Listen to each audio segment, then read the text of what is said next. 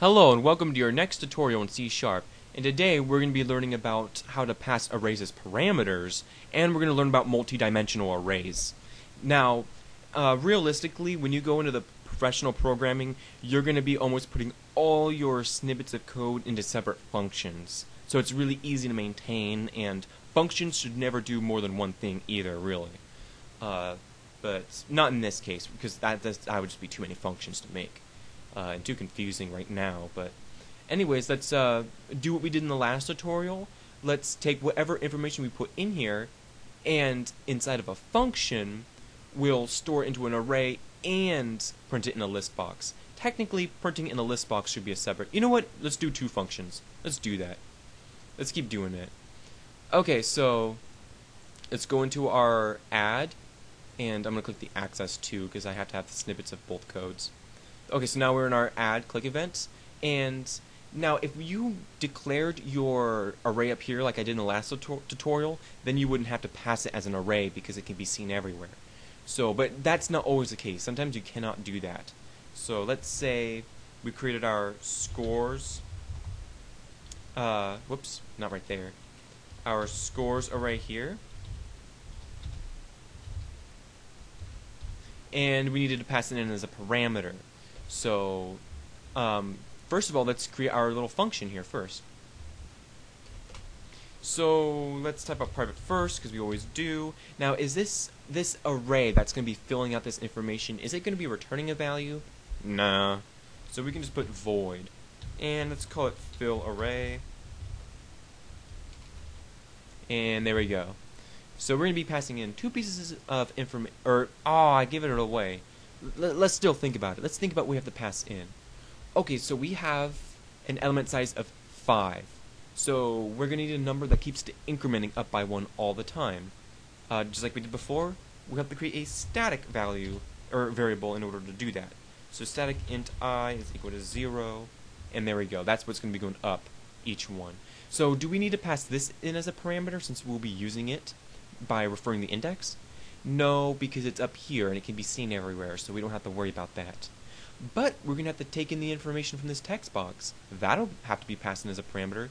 So let's actually get that information in first.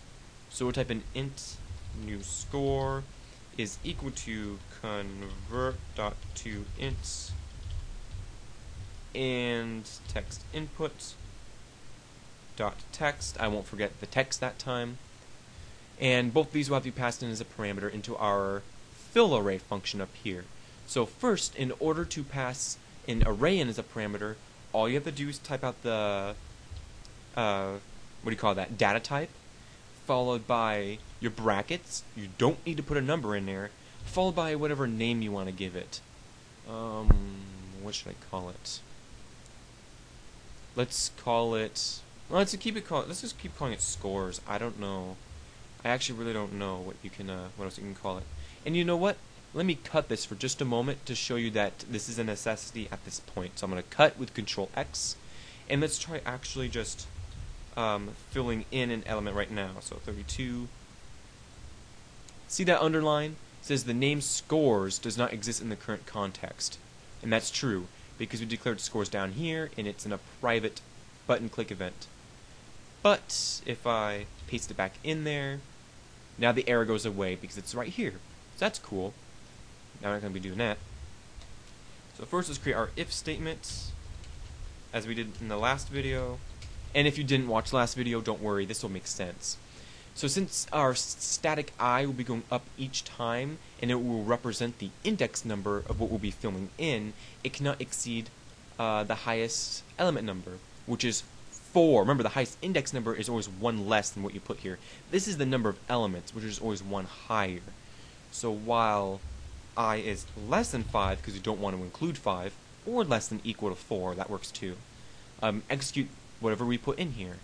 Else, let's do a message box dot show and we'll have um, all students have been entered did I spell that right? No, I didn't. I've been entered. Okay, there we go. So we'll get that to make sure nothing bad happens.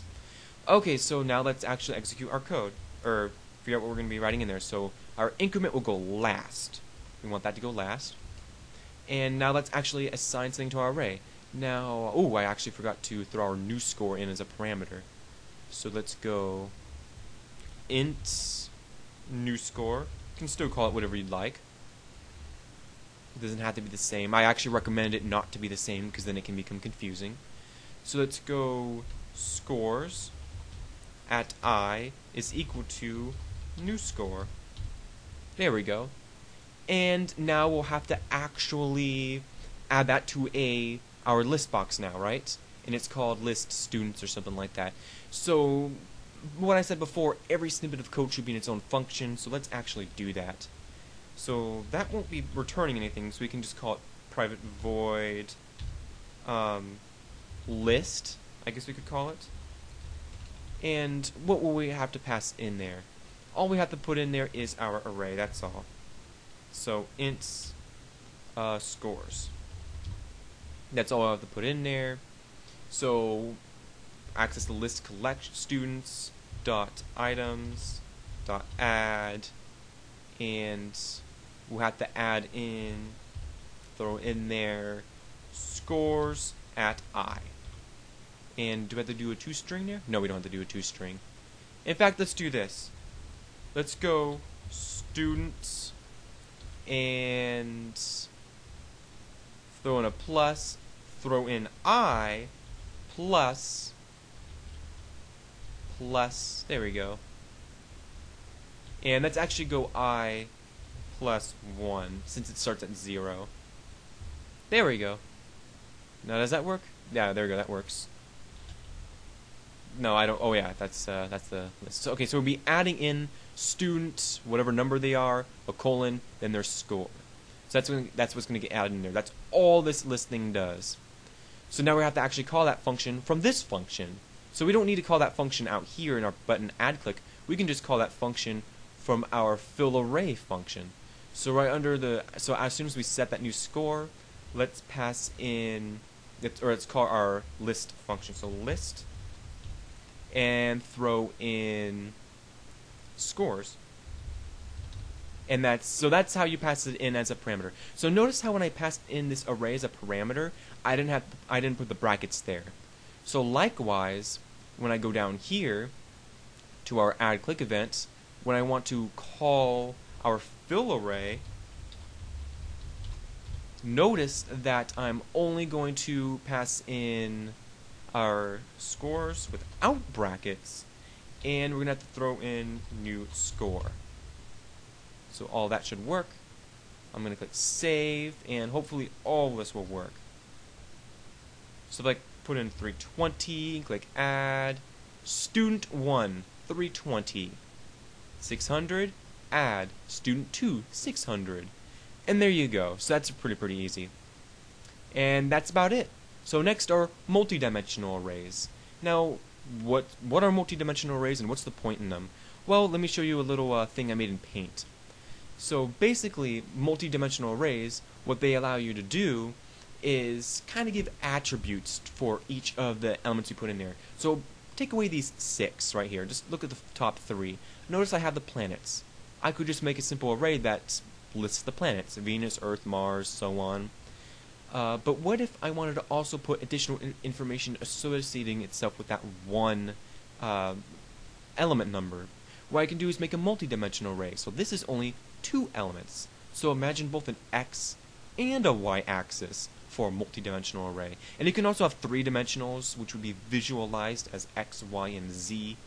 Uh, then four dimensions, I couldn't even comprehend that, and so on. But two-dimensional arrays is usually the most that you'll need. So, whoops. So, uh, so yeah. So imagine Venus as element 0, 0, Earth is element 1, 0, and Mars is 2, 0. Notice how hot and uninhabitable, which is associated with Venus, all have the x value of 0, all the Earths have the 1 at the beginning, and all the Marses have 2 at the beginning. So, so yeah, so this is the temperature, I guess, and whether it's habitable or not. A pretty bad example, but, I mean, well, no, it's a good example, but it could be better. So let's declare it up here. So in order to declare a multi-dimensional array, type out the data type, followed by your brackets, and for each additional uh, dimension you want, throw in a comma.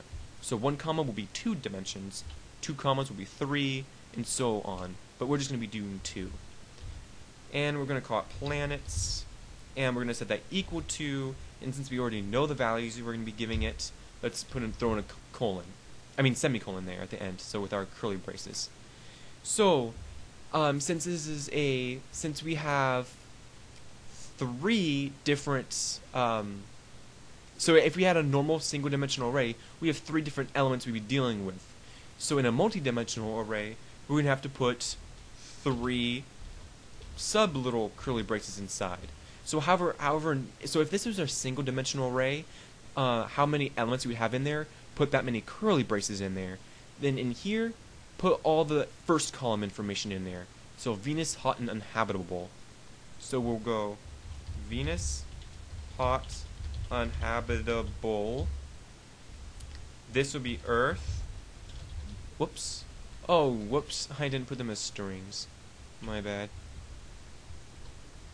String, string, string. Whoa, way over there. String. And let me just throw in the strings here.